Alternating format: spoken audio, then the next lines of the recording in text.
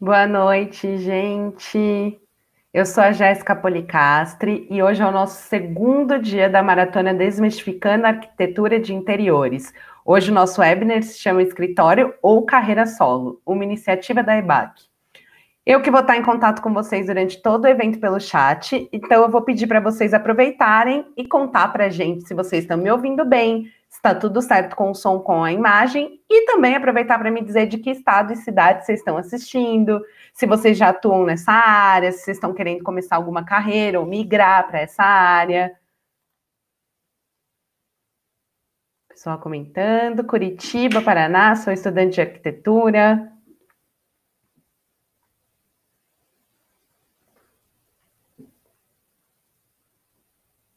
Estudante de arquitetura e urbanismo, Todo mundo confirmando que o som tá tudo certo. Pessoal, é o seguinte, aproveitando então, vocês também podem mandar qualquer comentário ou pergunta para a nossa convidada de hoje aqui pelo chat. É bem importante, alguns já conhecem esse sistema, mas se vocês forem mandar perguntas, por favor, eu peço que vocês cliquem no botãozinho na interrogação do lado, porque isso faz com que a gente consiga separar o que é pergunta e aí a gente destaca e apresenta para ela depois. Mais gente falando aqui, Santa Maria, Rio Grande do Sul, recém-formada em, em arquitetura, Patos de Minas, Minas Gerais, Brasília, estudante do EBAC de designer. Que legal! Que bom, Dani. Está gostando do curso? Espero que você esteja curtindo. Vamos lá, aproveitando então, ao longo do nosso encontro, gente, eu vou ter, vou oferecer para vocês uma oferta exclusiva para um dos nossos cursos da EBAC. É uma oportunidade imperdível para quem já atua nessa área ou está querendo iniciar alguma carreira com, como design de interiores. Eu vou dar mais informações logo mais, mas se vocês ficaram curiosos, aguarda só um pouquinho que eu vou liberar um botão para vocês clicarem. A EBAC é uma escola de arte e tecnologia baseada aqui em São Paulo. Ela oferece cursos de iniciação, especialização e bacharelado nos formatos presencial, online ou híbrido. 90% dos projetos desenvolvidos pelos nossos alunos e alunas dos nossos cursos são baseados em necessidades reais de empresas parceiras da EBAC. E 100% dos nossos professores são profissionais de grande destaque no mercado. A Dani está falando aqui que está amando, assim como todos os webinars. Vou iniciar também no curso de decoração, maravilhosa. O curso de hoje que a gente vai falar é o curso online Profissão Designer de Interiores. Ele é desenvolvido para ser uma porta de entrada numa carreira de sucesso, em que você aprende projetos a partir de uma, uma visão crítica e um olhar refinado. Nesse curso, vocês vão dominar todos os aspectos do design de interiores, iluminação, paisagismo e ainda adquirir noções avançadas dos principais softwares do mercado para criar projetos residenciais e comerciais incríveis. O coordenador do nosso curso é o Bruno Simões, ele é arquiteto, designer e curador, e nos últimos 13 anos ele passou por importantes empresas como a Casa Vogue. Vocês também vão contar com aulas de um time incrível de profissionais com grande destaque no mercado. Quem vai ensinar para vocês AutoCAD? Vou colocar aqui para vocês verem, nosso time quem vai ensinar para vocês AutoCAD é a Ana Paula Barbosa, que é arquiteta e designer de interiores com mais de 10 anos de experiência atuando em empresas como a Web Ferreira Arquitetos, a FGMS.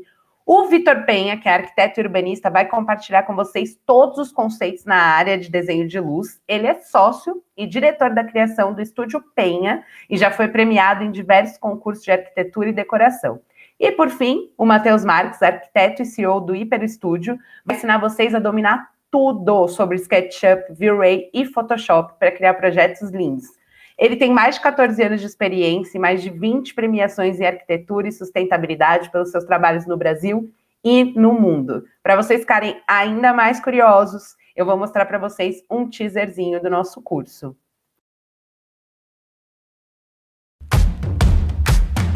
Cor, matéria e iluminação. Design de interiores está atrelado a um sonho e está atrelado a um bem-estar. É criar qualidade de vida dentro dos espaços. A intenção aqui é treinar vocês nos principais temas da cultura do design, como paisagismo, iluminação, cor, materialidades, o conhecimento das técnicas e dos estilos que te permitem criar uma linguagem própria, que te permitem ser a vanguarda, se tornar a vanguarda do design de interiores.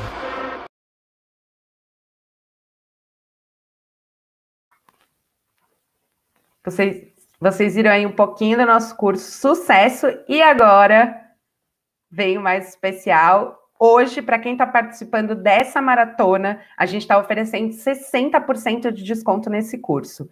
Para vocês acessarem esse desconto, é só clicar no botão que eu vou liberar agora aqui para vocês. Esse botão vermelho nessa barra verdinha, e aí vai garantir o seu desconto. Começando o nosso webinar, então, hoje a gente tem uma convidada muito, muito, muito especial. Eu vou chamar aqui a Alana Veiga, que é arquiteta, urbanista, graduada pela Universidade Federal de Santa Catarina. Ela está quase 10 anos no mercado trabalhando num escritório próprio, sediado em Florianópolis, e atualmente ela vive um momento de transição para a carreira solo, da carreira solo e o mercado digital. Alana, tá por aí? Seja bem-vinda.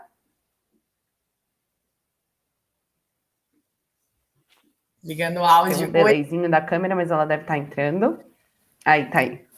Boa noite, gente. Tudo bem? Já estamos te vendo. Oi, Alana, seja bem-vinda nesse segundo dia de maratona. Obrigada, obrigada pelo convite. Muito feliz em participar desse webinar. Muito bom, muito bom. Seja muito bem-vinda. Eu vou começar aqui com a Alana, então. Importante, eu vou ler todas as perguntas do chat, eu vou passando para ela, então vocês podem fazer pergunta ao longo do tempo todo, mas eu vou iniciar para você, já vou pedir a primeira coisa, que é para que você se apresente, diga quem você é e fale um pouquinho sobre a sua carreira. Tá bom. Meu nome é Alana Veiga, eu sou aqui do Sul, tô aqui já tomando um chazinho porque tá muito frio aqui em Floripa. é, nasci e fui criada aqui em Florianópolis, Uh, optei por estudar arquitetura e urbanismo na Universidade Federal. Uh, e vou co contar hoje um pouquinho para vocês um pouco da minha carreira, da minha história, da transição que eu estou vivendo hoje para esse mercado digital, né? Não só com a pandemia, mas o rumo que o mundo vem tomando nos últimos tempos. E estou muito feliz em vir compartilhar com vocês aí a, essa minha história, esse processo e ajudar vocês aí nesse início de carreira, né? Para vocês que são estudantes ainda e vão entrar no mercado, vou ajudar vocês também em como se posicionar, né? Como foi comigo e o que eu posso passar para vocês, o que eu posso ensinar para vocês, para que talvez vocês não, né, não errem, a, a, não cometam os mesmos erros, talvez que eu possa ter cometido, ou encorajar vocês a né, encarar essa carreira solo e encarar o mercado de trabalho. Maravilhosa, maravilhosa. Vamos lá. Então eu vou te perguntar a primeira coisa que eu acho que é todo mundo sempre quer saber, né? Como que você se interessou por essa área? Como é que você chega? Como é que você fala, vou ser arquiteto urbanista? Tá. É, eu sempre tive uma vontade muito grande de ajudar as pessoas, de é, fazer algo pelas pessoas. É uma coisa que está dentro de mim. E em determinado momento eu também gostava muito de desenhar, fazia umas, uns desenhos legais em casa, umas plantas. O pessoal aqui de casa, a família, falava: não, tem que fazer arquitetura. Eu, ficava, né, eu pensava, não sei, a minha dúvida era arquitetura e medicina, áreas que não tem nada a ver uma, uma coisa a ver com a outra, né? Mais ou menos. Se parar para pensar, uma é área da saúde, a outra é área da tecnologia, enfim, da arte. E mas ambas têm esse fundo que é ajudar as pessoas de alguma forma. E aí eu entendi que eu, Alana, poderia ajudar as pessoas não sendo médica, né? Não salvando vidas, mas ajudando as pessoas de uma outra forma, com a casa delas, transformando é, os sonhos delas em realidade, né? Enfim, ajudando de uma outra maneira. E foi assim que eu optei pela, né, por estudar arquitetura e urbanismo e optei por essa carreira que eu amo e sou apaixonada até hoje. E aí, você disse, você começou falando, né, que você está num processo de transição. É, eu queria te perguntar, como é o tema, o nome da nossa, no nosso dia de hoje é Escritório Carreira Solo. Queria te fazer uma pergunta. Para quem está começando, né, nessa área, então acabou de se formar ou está se formando, qual que é a vantagem e a desvantagem de começar num escritório? Bom, eu acho que é, um pouquinho antes ainda, eu vou depois passar uma apresentação para vocês, mas acho que um pouquinho antes ainda do mercado, de encarar o mercado de trabalho já depois de formado, vem o estágio, que eu acho que é muito importante, que também é uma das maneiras de a gente trabalhar num escritório. Né, eu acho que é fundamental ter experiências não só em um escritório, mas em alguns, é, de preferência, tentar uh, profissionais, escritórios que trabalhem em áreas diferentes, para que você possa entender o que você gosta né, se identificar com alguma coisa, ah, eu vou, né, eu gosto de trabalhar com uh, interiores comercial, às vezes, né, tem um escritório que seja específico nisso, é, interiores residencial, não, eu gosto de da parte uh, de cenografia, né, então, assim, trabalhar em alguns locais, ter experiências, identificar onde você vai se encaixar, né, qual é o, qual é o teu mercado, qual vai ser o teu público, é isso que eu quero trabalhar, eu acho que nesse estágio e aí, consequentemente, depois, no início do, do né, logo depois de formado, eu acho que é, é válido também ter essa experiência. Eu tive, foi importante, porque eu acho que ela dá um, um esse trabalho inicial, ele traz uma segurança né? Além da experiência, óbvio, né? A, a, experiência é fundamental, mas te traz a segurança para dar aquele passo em algum momento e falar: agora eu posso começar sozinho. Acho que agora eu consigo, eu tenho noção de como é. Eu realmente, dentro do escritório, trabalhando como um, um, profissional já formado, é, é, diferente o tratamento de um estagiário, né? Então eu realmente começo a lidar com. com Os clientes, eu começo a atender e fazer coisas mais importantes. Então, eu acho que depois disso, a pessoa já está apta para realmente encarar o mercado. E aí pode demorar pouco tempo, médio, pode demorar um pouco mais. Isso vai muito do, do teu feeling, né? De saber, não, agora eu estou pronto. E não tem um tempo exato, não, não tem um. É, né, não tem uma receita de bolo. Cada um vai ter que saber qual é o seu momento e falar, agora eu estou pronto. E, e aí você, então, começa, você diz, você está falando sobre os escritórios, então de alguma maneira é uma vantagem começar e ter várias experiências e tal. E quando você opta, né? Por não, pela, não trabalhar. É, pela carreira solo. Qual que é a vantagem, qual que é a desvantagem? Como é que tá. isso opera? Eu acabei nem falando na desvantagem de começar trabalhando uhum, sozinho, uhum. né? Mas eu acho que se a pessoa se sente. Não, não vou dizer que tem uma desvantagem. Eu acho que se a pessoa, de repente, fez bastante estágio, se sente pronta para encarar e trabalhar sozinho, de repente já pintou cliente, né? Porque é, é muito de você surfar onda, né? Tá, tem cliente, eu tenho, eu tenho trabalho para fazer, eu posso começar, tudo bem. Mas normalmente a gente está começando ainda, então não pintou nenhum cliente ainda, tem aquela insegurança, quem já mora sozinho, quem já tem conta para pagar, fica meio, né? Então a desvantagem seria essa insegurança, é, essa instabilidade financeira no início, aquela questão de ah, não, não sei se vou ter cliente ou não. Então eu acho que isso seria a desvantagem de já começar é, direto trabalhando sozinho, né, na carreira solo e não em um escritório. Um, e a, o que tu perguntou agora foi do sobre respondido. Aí eu ia, eu ia te pedir já para emendar é, para você contar a sua própria experiência de transição entre essas duas coisas. Tá. É, eu me identifiquei muito no final do, do, meu, do meu período de faculdade, onde eu fazia estágio no escritório de paisagismo, me identifiquei muito, gostei, é, era uma vibe muito legal eram praticamente, acho que na, quando, eu come, quando eu estava fazendo estágio, eram só mulheres trabalhando, então era um clima muito gostoso. A gente, né, era papo de mulher o dia inteiro, era bem legal. E me identifiquei e elas, né, curtiam o meu trabalho e me convidaram para continuar trabalhando e eu fiquei. Eu fiquei por um ano, não sei se chegou a um ano, eu acredito que foram dez. Não, acho que já chegou a um ano. Mas quando deu dez meses que eu estava trabalhando lá já, eu já estava sentindo que eu precisava de algo a mais. A desvantagem nesse ponto é que realmente é, o trabalho para quem está começando a carreira não é muito bem remunerado, não é muito mais do que um salário de estagiário. É, então, eu tive até comparando agora para fazer contratação para o meu escritório e acaba que o estagiário está muito valorizado e o profissional recém-formado ele não está muito ainda uh, muito mais valorizado que um estagiário. Então, nesse ponto, é um pouco ruim. Eu aguentei um tempo, eu ainda não tinha ido atrás de clientes, não tinha, né, é, tinha me preparado para essa carreira, então eu fiquei um tempo mais ou menos com 10 meses de escritório, eu tinha juntado uma graninha já, ainda morava em casa, é, e eu fui economizando para montar um lugarzinho para mim, que foi na casa da minha avó. É, a gente tinha uma garagem que era um depósito, era tava tudo largado lá. E eu falei, vó, posso usar esse espaço? Posso montar meu escritório aqui? Pode, minha filha. Então tá. peguei minha graninha que eu tinha guardado, fiz o um mínimo de obrinha possível para conseguir receber os clientes ali. E dois meses depois, com a obra finalizada, eu pedi as contas, né? Não era contratada, né? É bem difícil, isso é uma coisa também bem importante, é bem difícil é, você conseguir um escritório que assine a carteira. Normalmente você trabalha como pessoa física mesmo, ou uh, como pessoa jurídica, alguma coisa assim, para poder é, prestar esse serviço.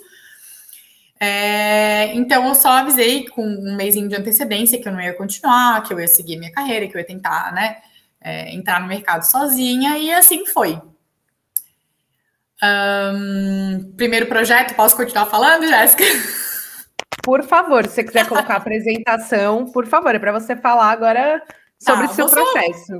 Tá, antes de botar a apresentação, na verdade, ela tem mais a ver até com essa parte que eu já estava falando.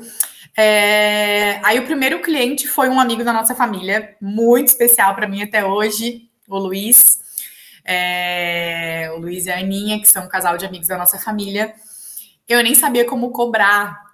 Eu, eu, eu tava totalmente perdida e eu não queria cobrar nada, tava sem graça, eu queria trabalhar de graça para ganhar experiência, mesmo que, né? E ele falou: não, Alana, como não, mas eu falei assim, mas Luiz, é muito sério esse teu trabalho, era um, um estudo de viabilidade para um empreendimento enorme num, num, bairro aqui no norte da ilha. E eu, cara, não estava segura de fazer um, um, um, estudo desse tamanho, dessa proporção, mesmo já tendo feito na faculdade tudo. Eu não estava segura e eu não queria cobrar, enfim. E ele falou: não, vou te pagar, combinou um valor comigo. Ele mesmo precificou, falou assim: ah, vou te pagar tanto. Eu já contratei esse, esse mesmo serviço com outro escritório, que já tinha alguns anos no mercado, eu paguei X para eles, então eu vou te pagar um valor proporcional, como está começando ainda, mas eu quero que tu faça esse trabalho para mim. Então, vou, né, vou te pagar X. E aí foi e deslanchou, e depois foram aparecendo clientes aqui, clientes acolá, e as coisas vão aparecendo, vão surgindo, vão fluindo, né? E, e aí fiquei depois quatro anos trabalhando. Isso, quatro anos trabalhando sozinha. Aí apareceu uma amiga minha que tinha estudado comigo também na faculdade. Uh, me chamou para fazer uma parceria de projeto. A gente fez essa parceria, deu certo e a gente uh, começou a trabalhar juntas, né? Montamos um, escritório juntas. E essa sociedade, né? Esse casamento durou seis anos, praticamente. E há bem pouco tempinho atrás, eu estou encarando a carreira solo com novos sonhos, novas ideias, né, de ingressar no, no mercado online e na área de, de aula mesmo, online, enfim, estou entrando nesse mercado aí agora.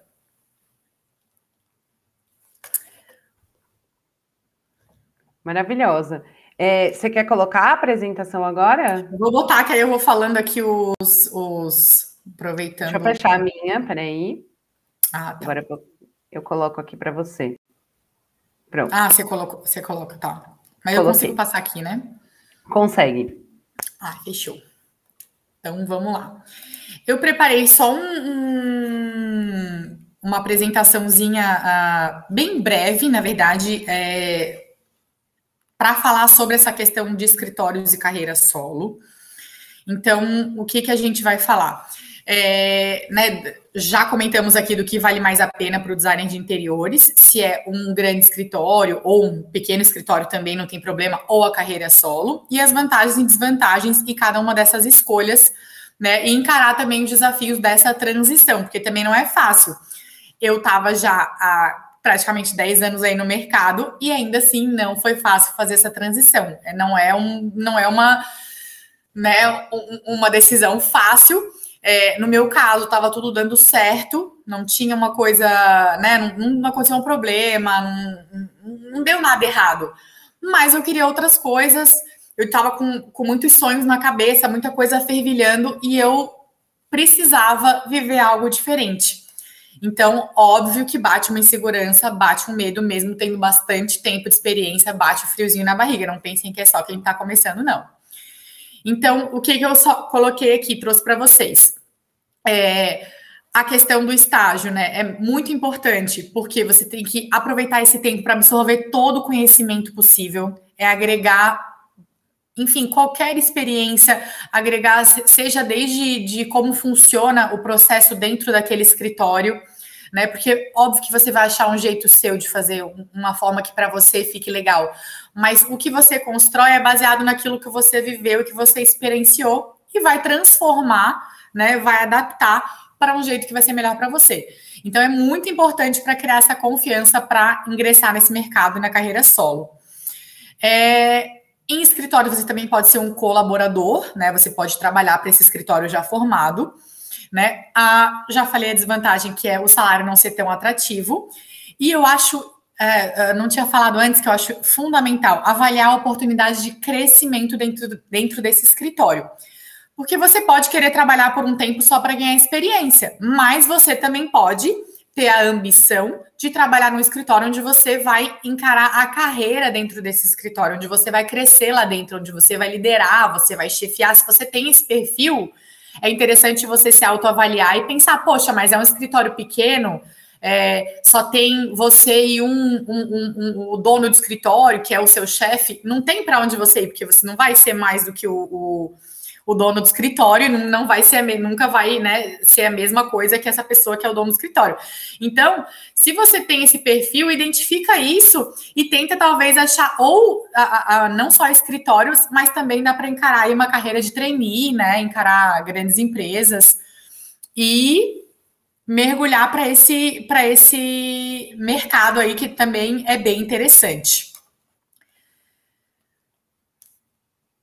Depois tem a, a situação de sociedade, você pode ter um escritório de arquitetos ou designers associados, né? Uh, onde de repente cada um vai trabalhar com uma área diferente, né? Uh, o que, que, eu, que eu quero colocar aqui que é interessante quando, né? Você que está aí pensando em, em ter uma sociedade, eu acho que uma coisa bem legal da sociedade é o dividir para somar. Você divide não só os custos né, da manutenção desse escritório, mas você também divide experiência, você também divide conhecimento, você tem toda essa troca, né, dentro do escritório com outros colegas, com outros parceiros, né? É, então eu acho bem interessante. E uma coisa que é importante também sempre avaliar no início é são as afinidades e as diferenças. É, tem que ter afinidades em alguns aspectos e as diferenças também são muito interessantes, porque as pessoas se complementam, né? Então, não tem, vocês não precisam ser iguais para ser sócios, né? Vocês podem ser diferentes e se complementar.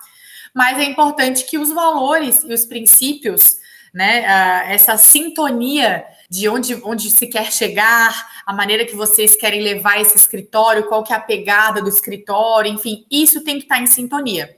A diferença é importante, é interessante, é legal. Mas eu acho que isso é fundamental estar alinhado para que dê certo né?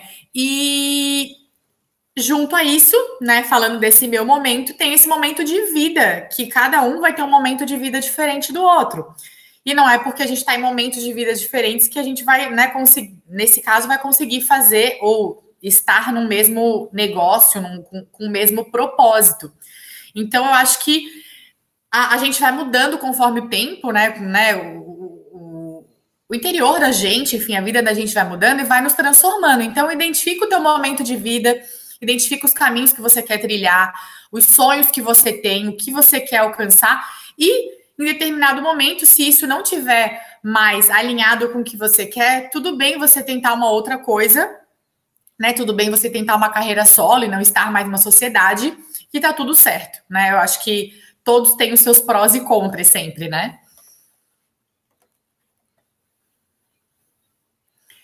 Na carreira solo, falando um pouquinho aí do que eu tenho vivido e o que algumas amigas, colegas arquitetas também vivem. Eu acho que é, para vocês designers é a mesma coisa.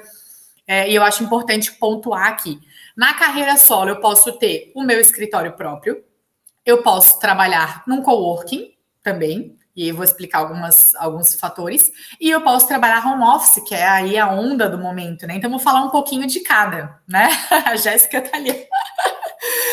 É, o escritório próprio, você é, aqui sempre você vai ser dono do seu negócio, você também vai gerenciar o seu tempo, o que é uma dificuldade para quem, né, tá começando. você conseguir gerenciar momentos de visita, momentos de, de, de, trabalhar num projeto, momentos que você vai fazer coisas, atender clientes fora do escritório, momentos que você vai fazer levantamentos, enfim. Gerenciar o seu tempo não é uma tarefa fácil. E, e a tendência é a contratação aí de pessoas qualificadas para fazer parte da sua equipe. Uh, Aqui eu só vou agregando, tá? Se eu não tiver um escritório próprio, o resto todo vale.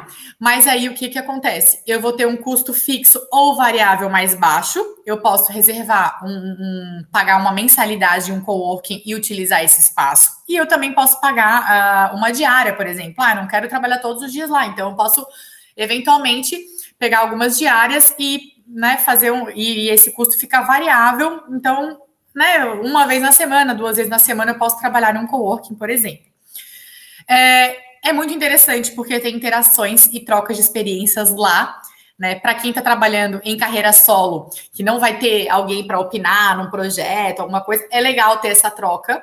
Né? Eu acho um, uh, um espaço importantíssimo para trabalhar o teu networking. Uh, eu acho que conhecer novas pessoas. São pessoas, às vezes, de outras áreas que vão te trazer clientes, você vai também indicar clientes, então acho que essa troca é bem interessante.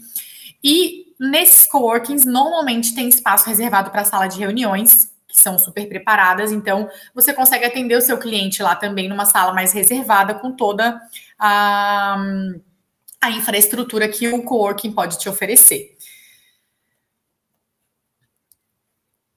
E aí, falando um pouquinho do home office, a gente tem uma economia aí bem grande nos custos fixos com o escritório. Você já mora na sua casa, então você não vai ter um custo extra com isso. É legal. Uh, o atendimento ao cliente você pode fazer na casa do cliente, você pode fazer em café. Depende do tipo de reunião que você vai fazer. Lógico, uma reunião mais informal você consegue fazer no café, mas, né?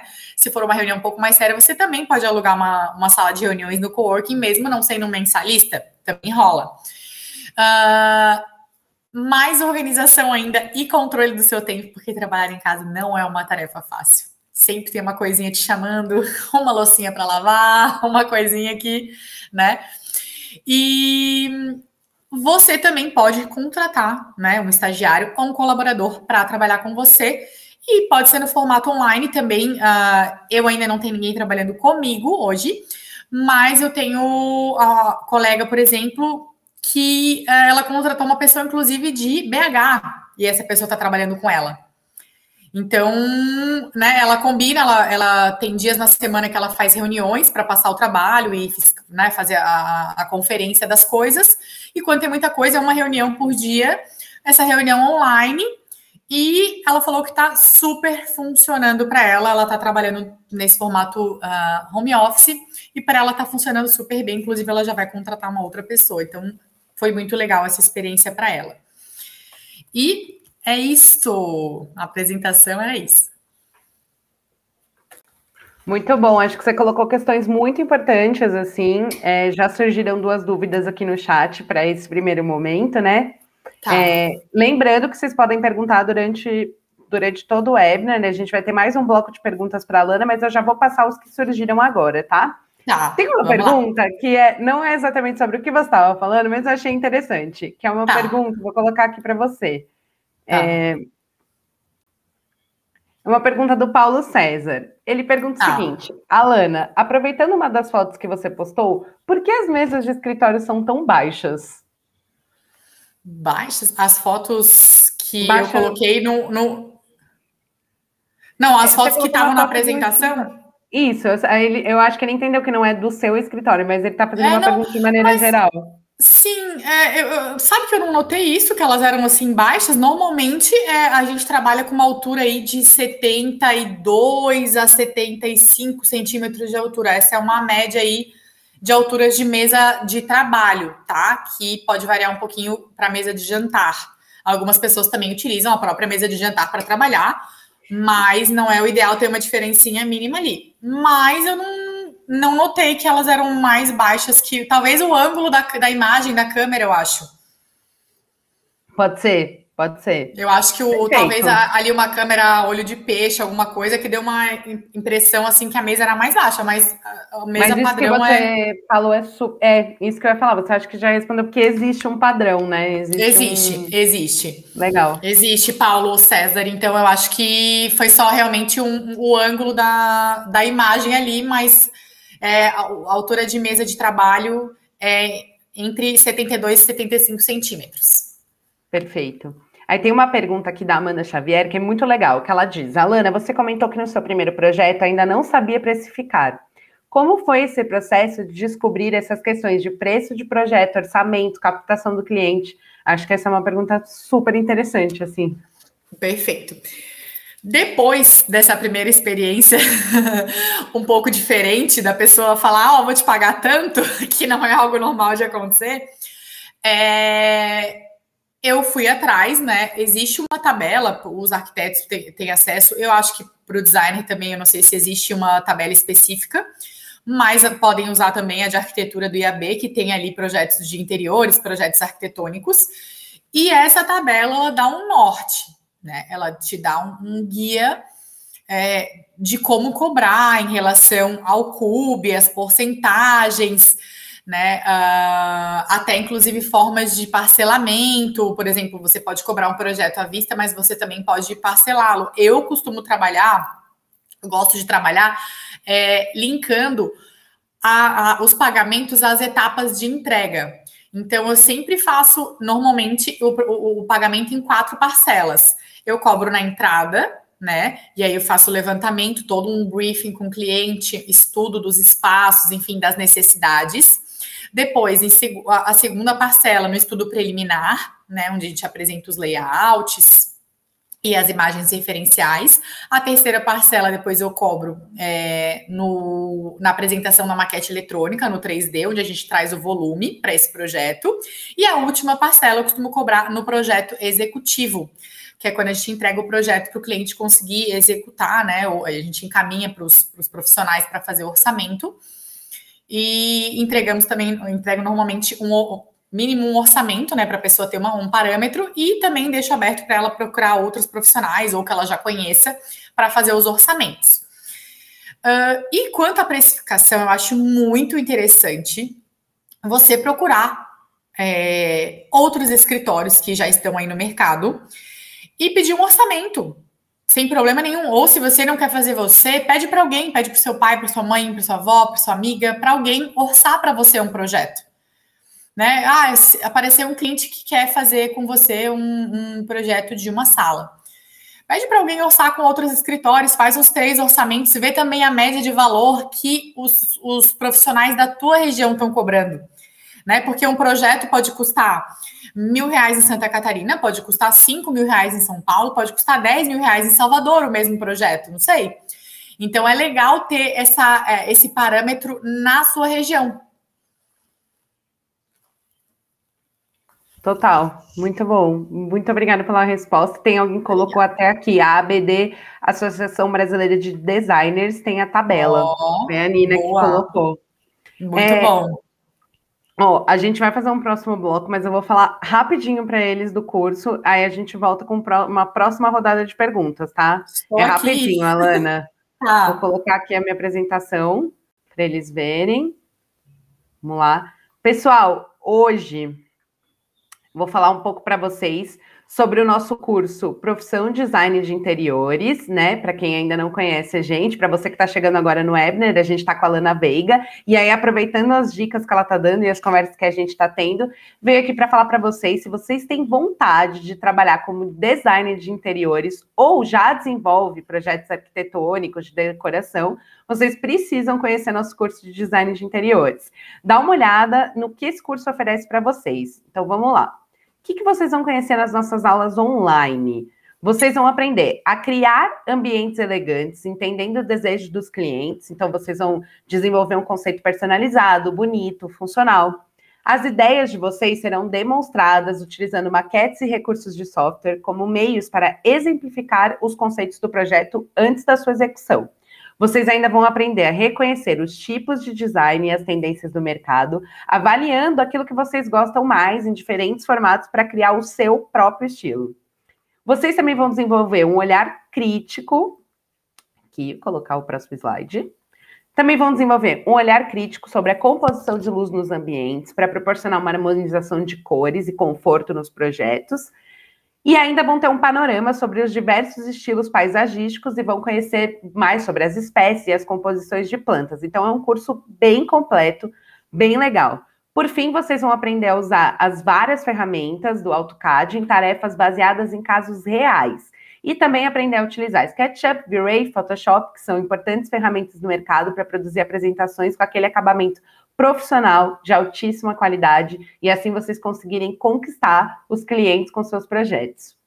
Então, mais uma vez, eu já coloquei a barrinha aí, nessa barrinha verde. É só clicar no botão vermelho. Hoje a gente tem um desconto especial para quem está participando desse webinar. Então, a gente está com 60% de desconto, é muita coisa, no curso Profissão Design de Interiores. É só clicar nesse botão importante. Eu sei que às vezes a gente fica com medo de clicar porque a gente acha que vai ser inscrito no curso automaticamente. Não vai. Esse botão só serve para garantir o desconto e também para vocês conhecerem um pouco mais, tirarem as dúvidas com a nossa equipe antes de tomar qualquer decisão. Nesse botão também vai ter dois presentinhos especiais que eu falo daqui a pouco para vocês, depois dessa segunda rodada de perguntas aqui com a Lana. Vou voltar com ela. Voltamos. Voltamos aqui, Lana.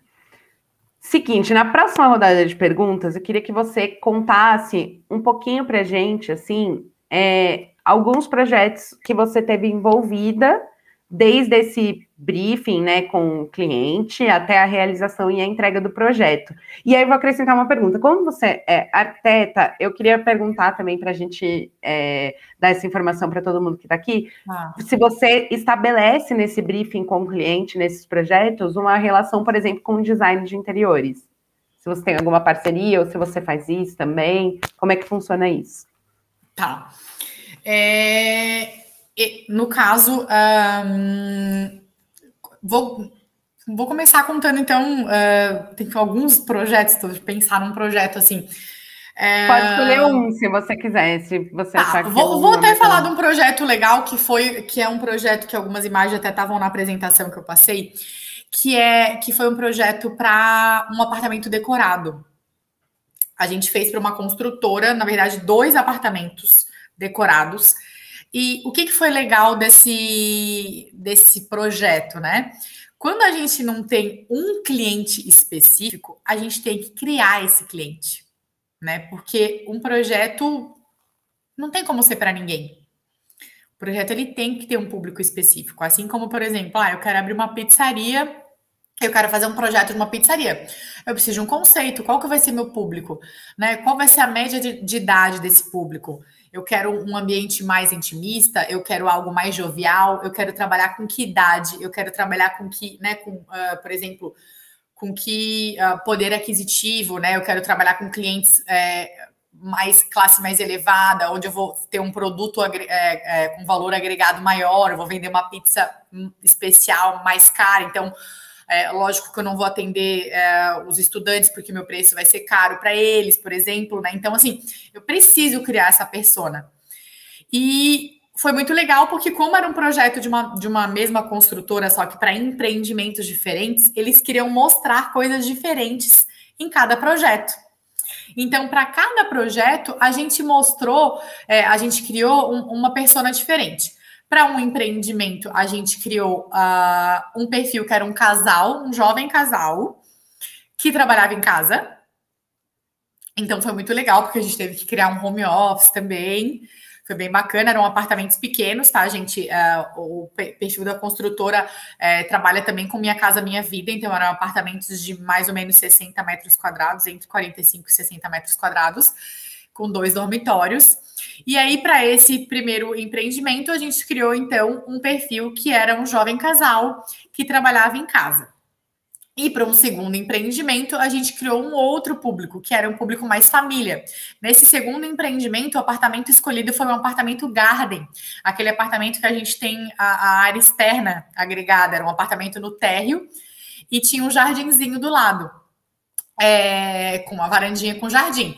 Então a gente criou um público família, né? Era uma família com filhos, dois filhos e um pet.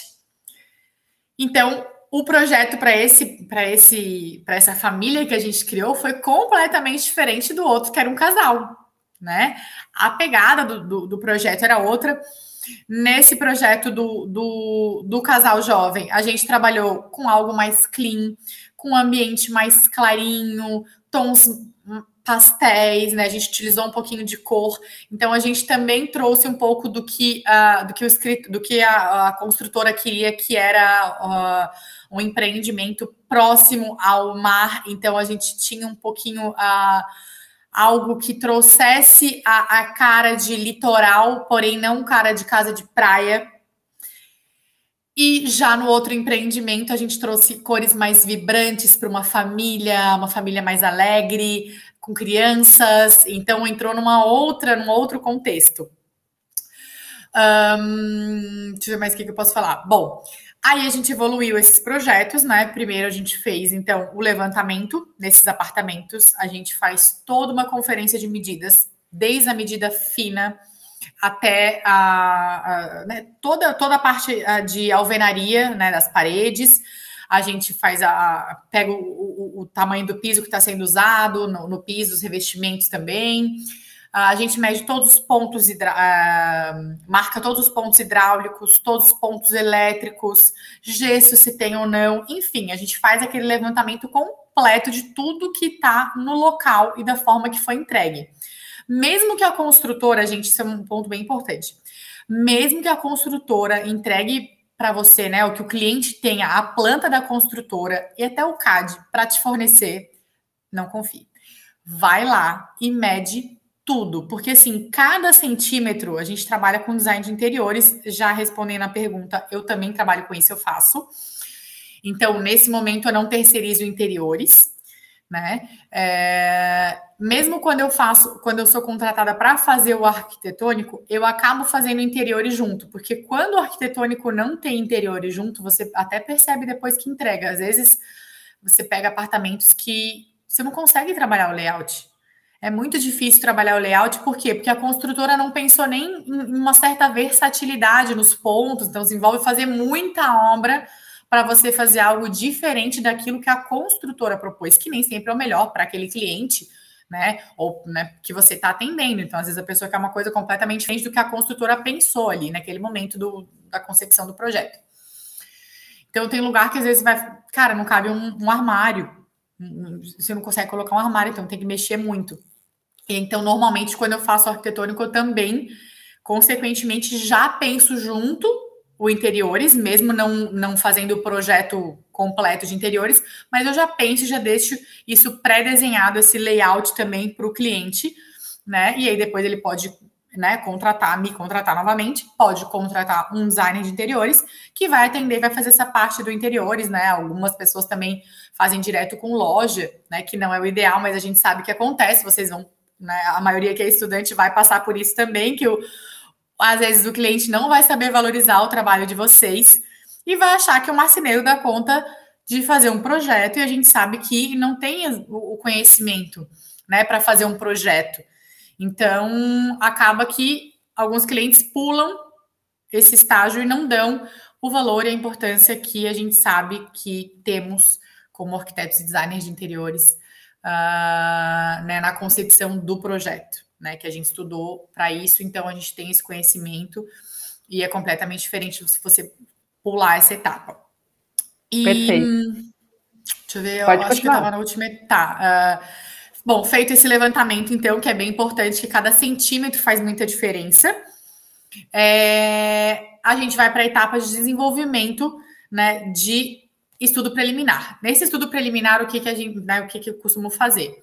Apresentar opções de layout, no mínimo uma, lógico, né? Em geral, mais, porque é um, um, é, é um mundo que permite né, infinitas possibilidades começa a ver referências e buscar é, referências, os clientes vão te, vão te trazer também é, algumas coisas, e aí você vai ter que trabalhar a melhor possibilidade, né? Então, vai apresentar para ele as, essas imagens, né, que você vai coletar e que ele também vai trazer, vai colocar isso no estudo de layout e vai apresentar. É muito importante, inclusive eu até uh, assisti uma entrevista do Maurício Arruda e foi muito legal, porque ele não fazia isso no escritório dele antes. Ele simplesmente já ia para o 3D direto e já apresentava de cara, numa primeira reunião né, de estudo preliminar, as imagens do projeto. E aí o que ele começou a perceber? Que ele tinha muito retrabalho, ele tinha que voltar muitas etapas.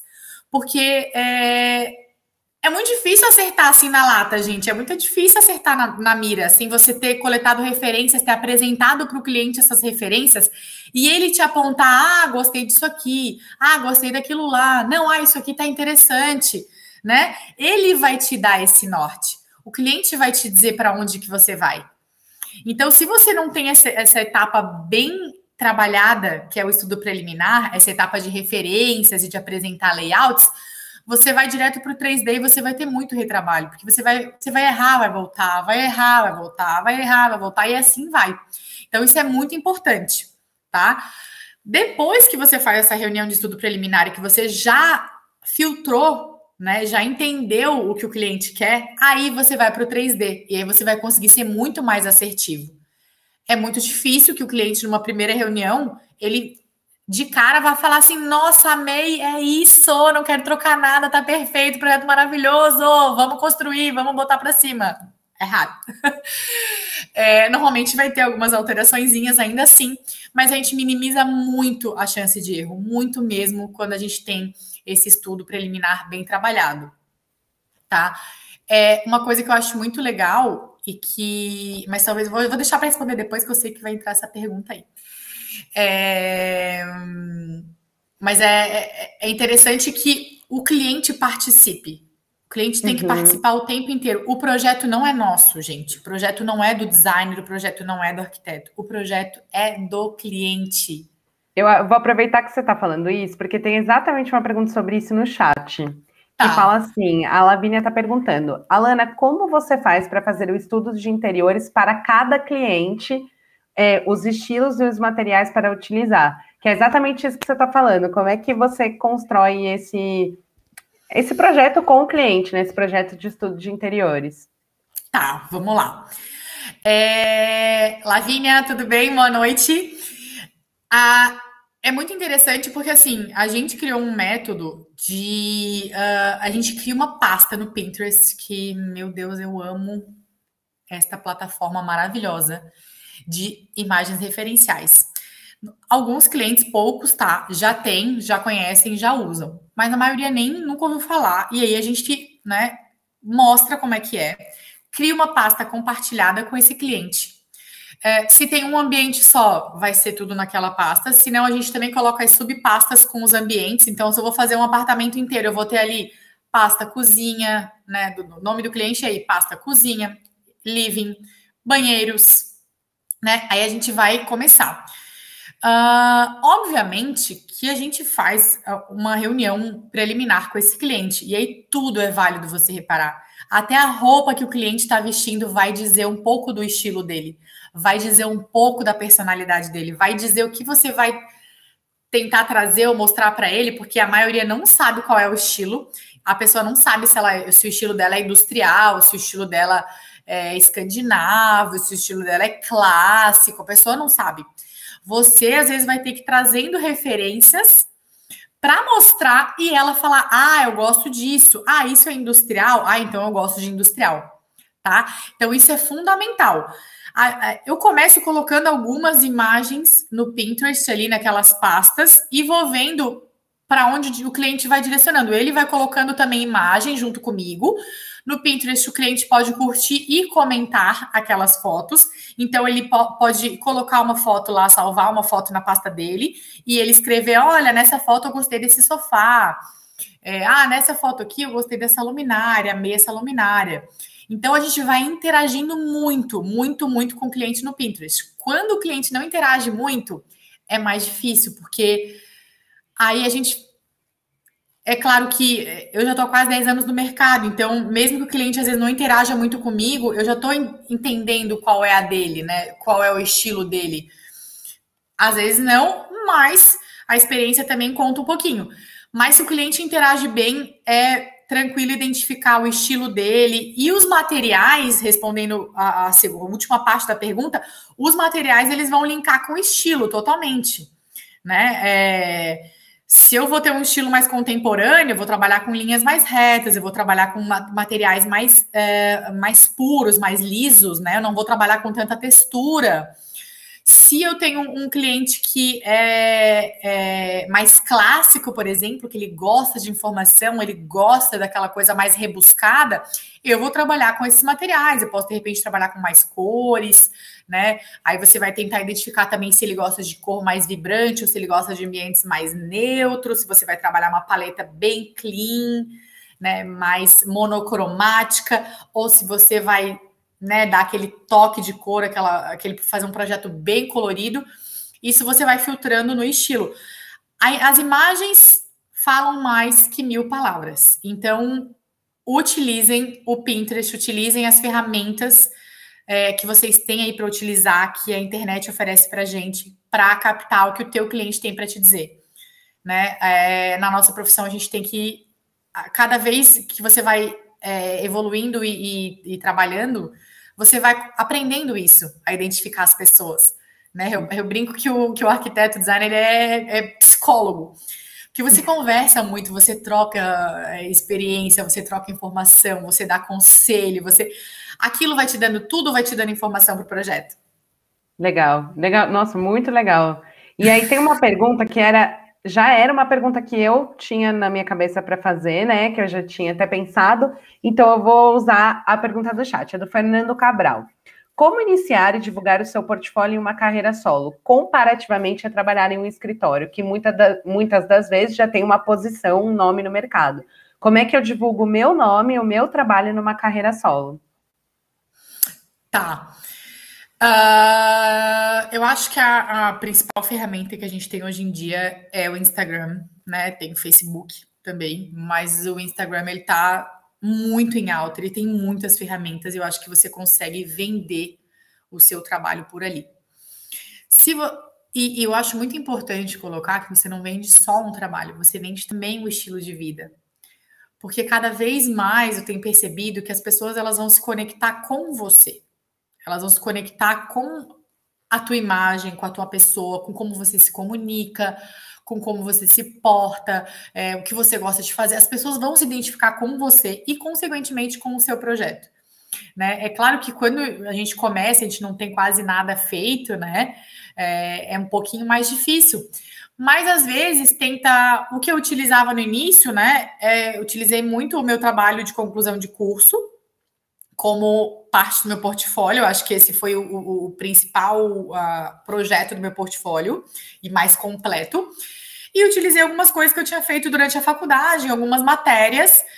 Uh, e eu acho que é interessante isso. Ou, por exemplo, uh, se eu ainda não fiz nenhum projeto de interiores, mas eu fiz, não sei, é, vou dar um exemplo, tá? Eu, eu já fiz isso, então posso.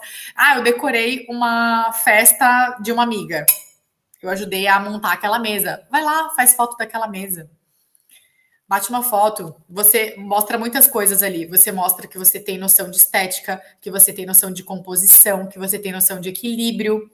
Né? Você vai mostrando a, a, as suas qualidades através disso e de tudo que você vai postando. Então, não só um portfólio né, montado ali em PDF, mas eu acho que principalmente o teu cartão de visita vai ser a tua rede social e saber se portar ali através dela e, e postando. E, e, eu acho que hoje em dia tem aberto muito para você se comunicar, então você pode ir perguntando o que as pessoas estão querendo saber e, e começa a interagir com os teus amigos mesmo. Inicialmente não vão ter clientes ali, vão ser amigos e pessoas que podem te contratar. Então, acho que é bem interessante é, essa interação e começar a postar. E mesmo que você não tenha um portfólio, tem muitas pessoas aí que têm postado, é, por exemplo, Foto do, da sua casa, seu, seu computador com um cafezinho, coisas do seu dia a dia, entendeu? Posta alguma coisa que você está fazendo no momento ali, que relacione, né, de certa forma, com o seu trabalho, que eu acho que tudo é válido, e aí os projetos vão pintando, vão aparecendo, e aí você vai agregando isso ao seu portfólio. Tenta sempre é, pegar qualquer coisa que você esteja fazendo. Ah, eu estou fazendo um levantamento posta. Vai lá, mostra, mostra o que está fazendo, enfim. Vai atraindo seus clientes pelas suas redes sociais. Muito legal, muito legal. E tem aí, eu acho que você já respondeu, porque tem uma, uma pergunta aqui também que fala exatamente isso que você disse. Na questão do portfólio, que dica você dá para quem não se sente confiante em pôr os, em pôr os trabalhos da faculdade nele? Acho que você acabou de, de responder. Meio que responde junto, né? Porque é. assim, pode ser que o teu projeto da faculdade não tenha nada a ver com o que você quer trabalhar necessariamente, tipo assim, ou você, mas não tenha vergonha do teu trabalho, não tenha vergonha, não ache tosco, não tem problema. Para muitas pessoas o seu tosco vai ser tipo, uou, wow, super maravilhoso.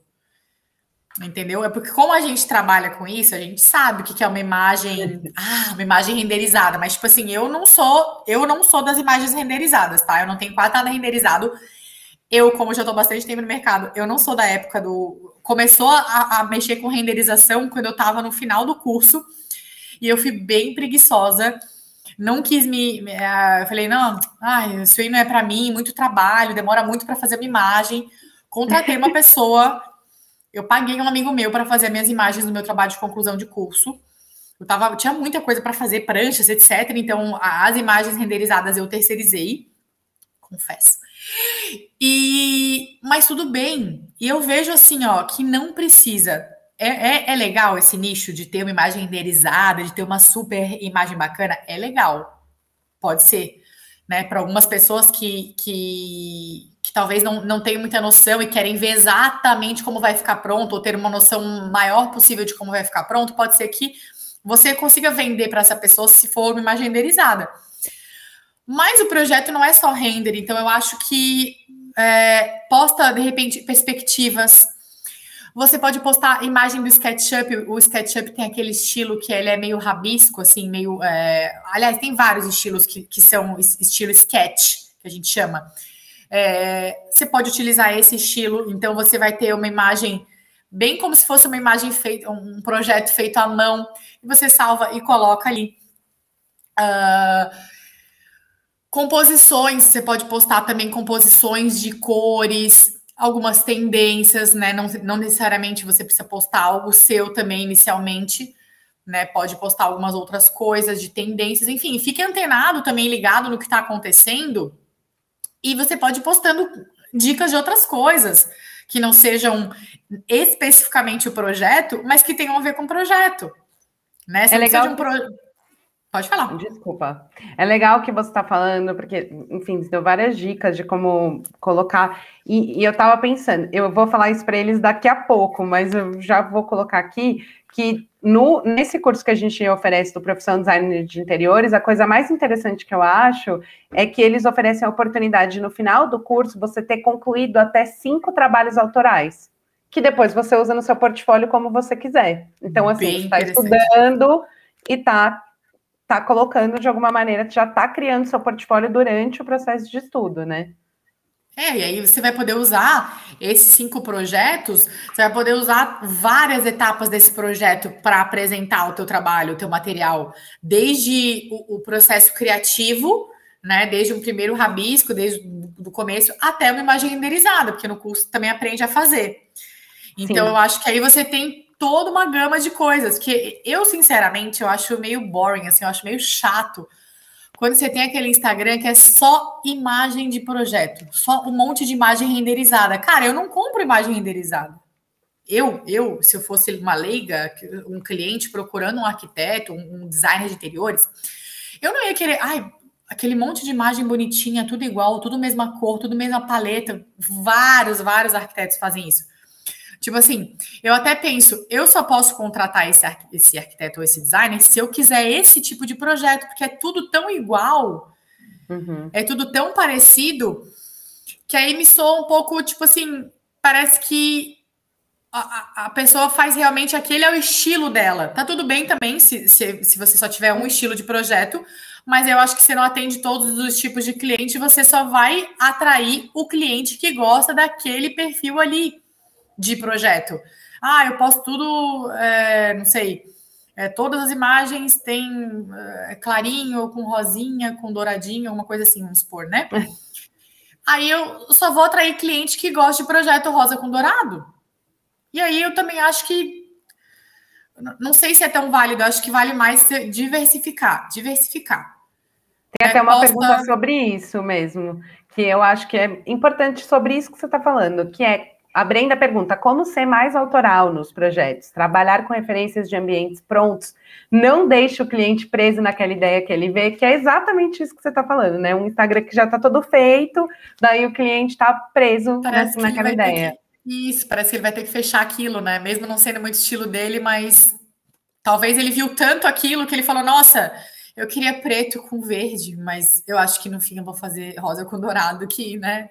Eu acho que é isso que tá na moda. Talvez ele possa até pensar isso, né? Eu acho que tá usando isso, eu vou fazer desse jeito, mesmo não sendo o que eu tinha pensado. É... Você tem que encher o teu cliente de imagem. Você tem que mostrar vários estilos para ele. Lá na, lembra que eu, que eu já falei aqui do Pinterest de usar essa ferramenta ou qualquer outra de imagens que você possa fazer, né? Normalmente é, eu faço, eu trabalho no Pinterest com um cliente e em paralelo eu ainda monto uma apresentação com o que eu filtrei do Pinterest para passar para ele. Dentro daquilo que eu mostrei para ele, que ele me trouxe, o que é que eu filtrei que acho que é o que a gente deveria, né, trabalhar, o que que eu acho que tem que ser o projeto. Porque a gente também direciona, né? O projeto é do cliente, mas você, né? Vai levando para onde você acha também que tem que ir para também não ficar uma coisa, às vezes, completamente fora da casinha, né? É, então, você vai apresentar o máximo de imagens. Tenta abranger mais de um estilo dentro daquilo que você identificou no teu cliente, é, para que você tenha material suficiente para ele, dentro daquilo, te indicar para onde você vai seguir, né?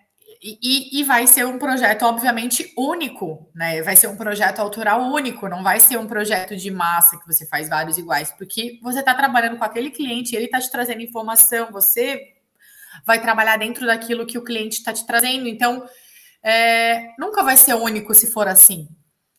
É, é só você que... não apresentar sempre as mesmas coisas para todos os clientes.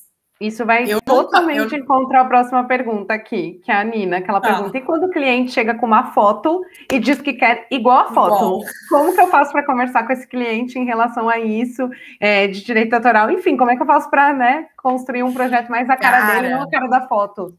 Tá, acontece muito, acontece muito. E é praticamente a mesma resposta anterior. Por quê? Eu vou encher ele de imagem.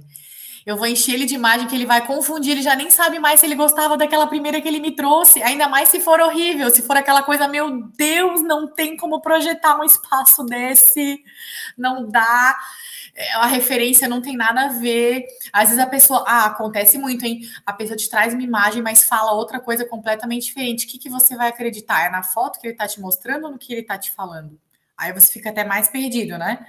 Às vezes a pessoa fala que é um clássico, mas ela traz uma imagem industrial, porque ela nem sabe o que é clássico, o que é industrial. Então ela traz, acho que é bom confiar um pouco mais na imagem, porque a imagem, com certeza, se ela gostou do que ela viu ali, né, é um pouco mais é, palpável de se acreditar.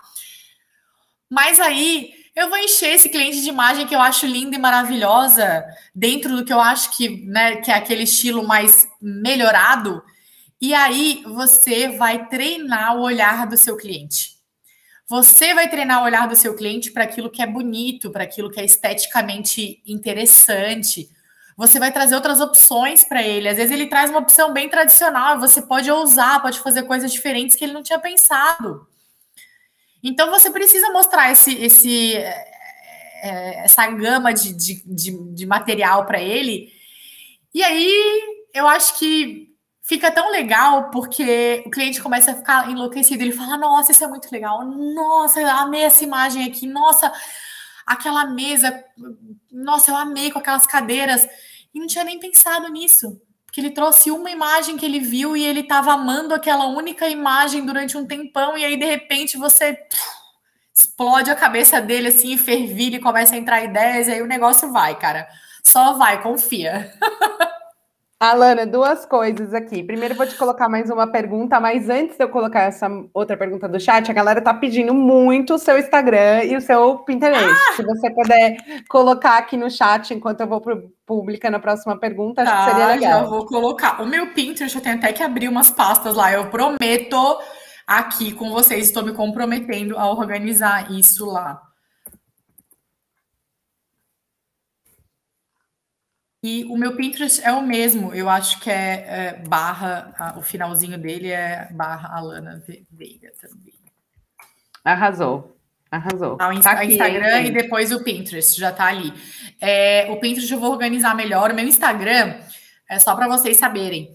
É, eu estou migrando de um escritório que eu tinha uma sociedade para minha carreira solo. Então, estou começando a, a preencher com os meus projetos ali mas vai ter muito mais. Estou preparando aí bastante material para vocês. Então sigam, fiquem lá, acompanhem que está vindo bastante coisa boa por aí. Arrasou. E aí tem uma pergunta da Amanda Xavier. Alana, você tem algum conselho para quem está começando a fazer os primeiros projetos profissionais e, na prática, se depara com dúvidas de execução, como materiais adequados para especificar e detalhamentos? Pergunta importante.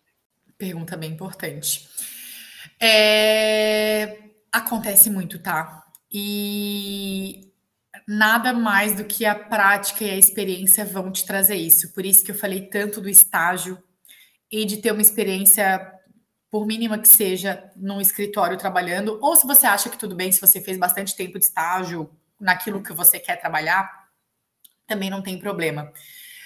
Porque você pega na prática, no dia a dia.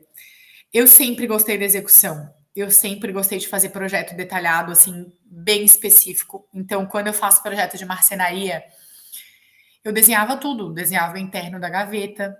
Como que eu comecei a aprender isso? Eu comecei aí no marceneiro.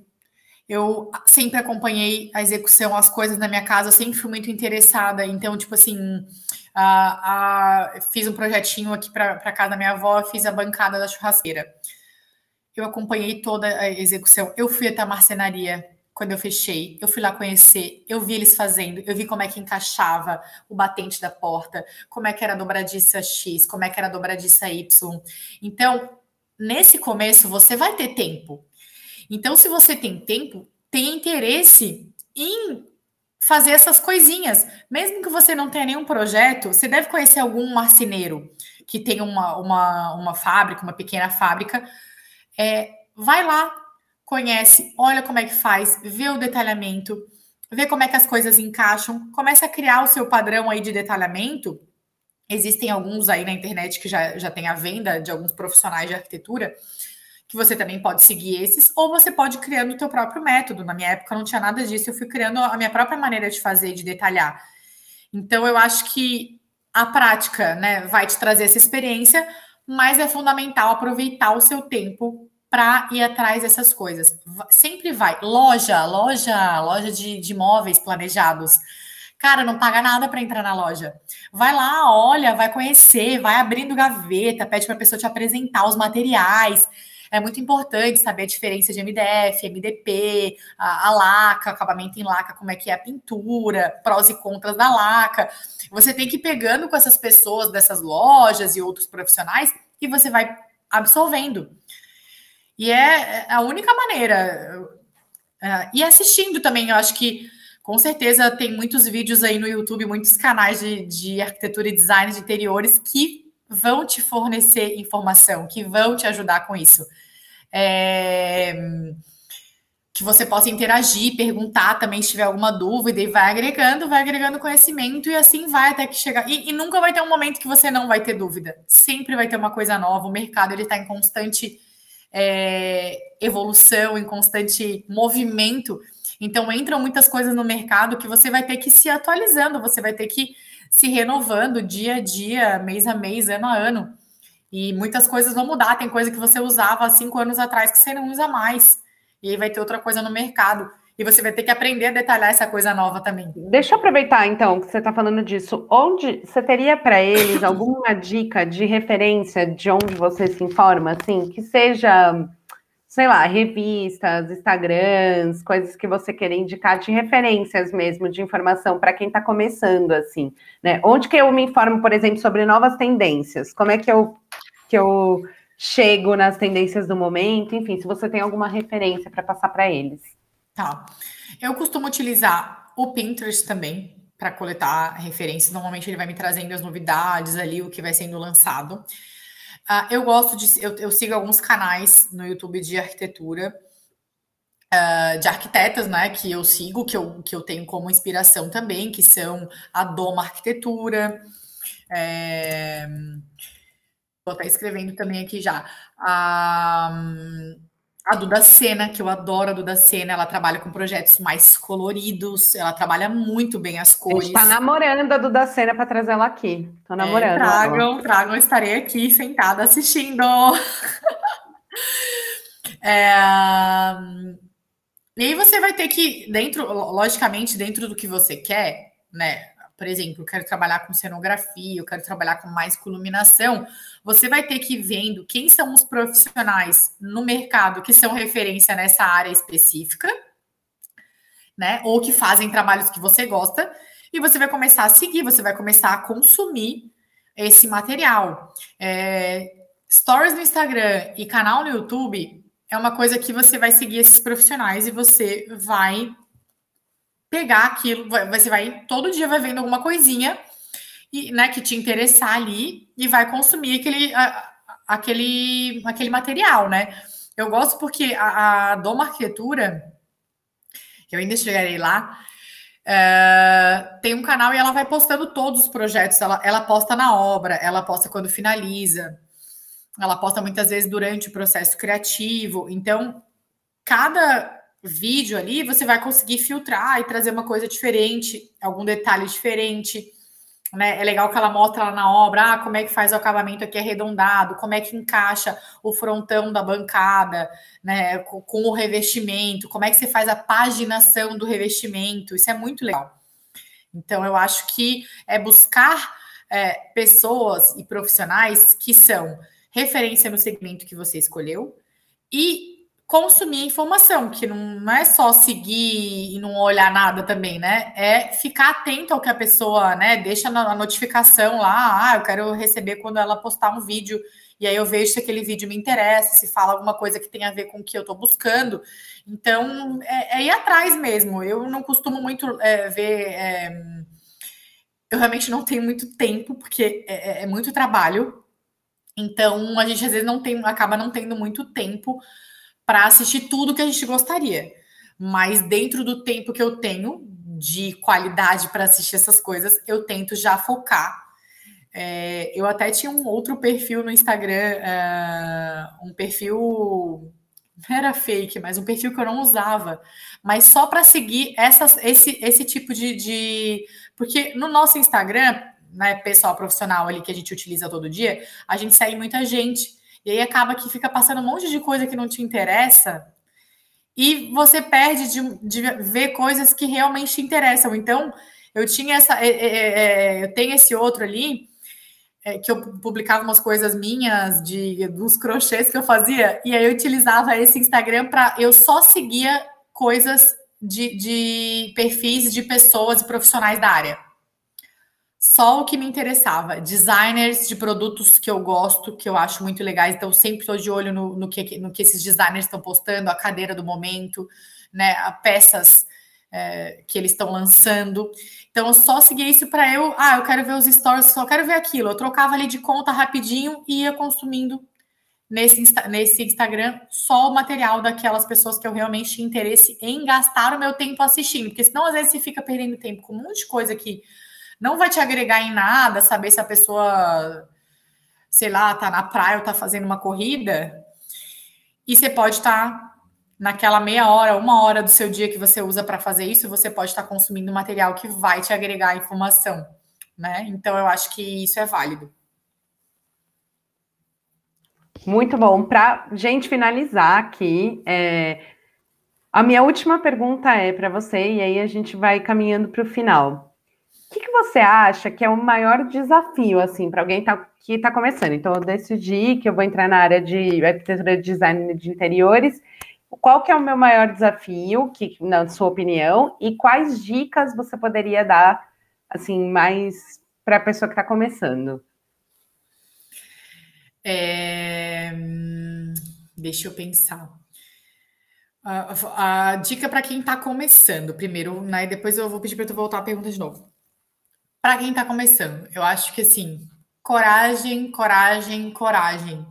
Não terem, não tenha vergonha, não tenha vergonha do teu do teu portfólio, das coisas que você fez na faculdade, né? Se você tiver a oportunidade de fazer um curso aqui, por exemplo, o curso da EBAC, que você vai ter essa formação, você vai talvez criar um, um portfólio já é, com os cinco projetos. Ah, não tenha vergonha de publicar isso, né? Não tenha vergonha de não ter projetos para publicar e só ter né, outras coisas. Usa o que você tem, usa as ferramentas que você tem. As coisas vão aparecer no tempo certo. Eu costumo dizer que todo mundo já passou, né, por um momento de perrengue, aquele momento que não entra projeto. Gente, a pandemia foi, o início da pandemia foi assustador, assim. É, então, o que que, o que que eu sempre tive como um lema para mim, assim? O que é seu tá guardado, confia. Às vezes você não fecha um cliente que você queria muito fechar porque você precisava daquele, daquele dinheiro, né, do, daquele valor, e mas você ia se incomodar muito, ia ser um cliente chato, não ia ser um cliente legal, você ia se incomodar, você ia se estressar, não ia ser gostoso, não ia ser prazeroso para você. Isso foi só um sinal que não era para ser seu, não era para ser teu aquele projeto. Fica tranquilo, Amanhã vai aparecer um outro cliente e amanhã esse outro cliente muito mais legal que você queria muito fechar um projeto de um, um projeto muito interessante que você sempre quis fazer e atraia isso para você. Ah, eu queria muito, eu quero muito fazer projetos comerciais, então vou vou uh, mentalizar que eu quero fazer projetos comerciais, eu quero pegar um, vai aparecer um cliente com uma loja para mim, vai aparecer um cliente com um, um restaurante de repente, um, né? Por menor que seja Mentaliza aquilo que você quer e não fica triste quando o cliente não fechar. Não fica triste se não fechar e, e porque vai aparecer outro. E eu acho que fundamental não, não se não se venda assim, não se prostitua, não, não, não faz de graça, não faz muito baratinho. Cobra o que você acha que é justo e que vai valer o teu tempo naquele trabalho.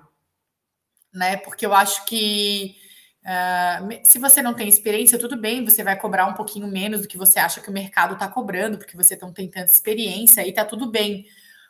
Mas não faz por muito menos, não faz de graça, porque é o teu tempo, é o teu, é o teu trabalho, é o teu conhecimento, é o teu carinho naquilo ali, é o que você vai, né?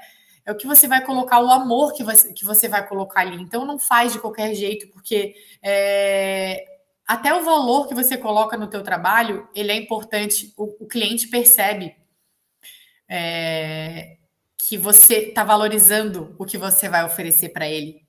Né? Às vezes, o muito barato vai falar, nossa, tem um de 5, um de mil. Será que eu vou fechar com um de mil? Tá tão barato, né? Alguma coisa é o, a, o cliente até já acha que é meio que, que, é ruim, assim, que não vai ser bom porque está muito barato. Então, é, vai achando que é legal para você, mas confia que vai dar tudo certo. Essa seria a minha dica. Nossa, maravilhoso. Teve gente emocionada aqui no chat, arrasou. Eu Obrigada. tinha te perguntado, mas acho que você já respondeu, na verdade. Respondi, é porque eu, eu perdi, eu acho que o início da pergunta eu não. Qual era o maior desafio para alguém que estava começando? Ah, e... eu acho que eu englobei, né? Eu acho que sim, porque eu, isso que você disse é muito importante, de você talvez o maior desafio seja a gente eu valorizar é, Hum, a precificar e valorizar o teu trabalho. É, não supervalorizar, porque é óbvio que você está começando, mas também não desvalorizar o teu trabalho, porque um trabalho desvalorizado, o cliente está vendo que você está se desvalorizando. Né?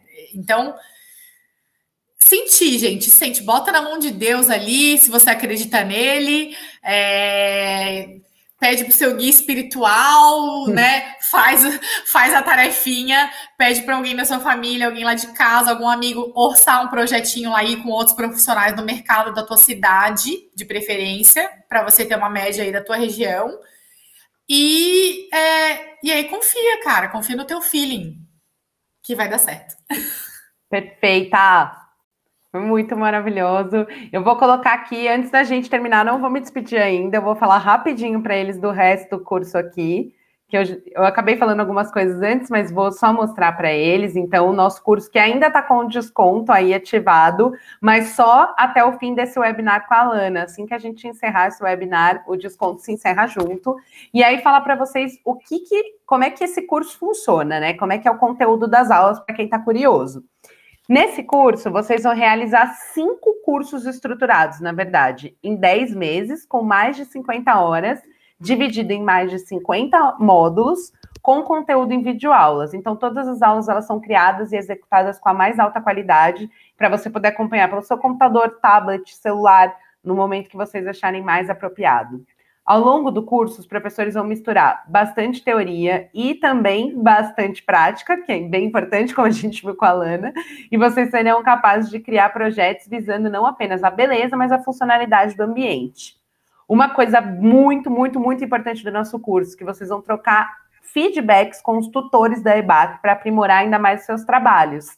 E aí, exatamente aquilo que a gente estava conversando agora, vocês vão produzir, ao final do curso, cinco projetos autorais com tutoria da EBAC.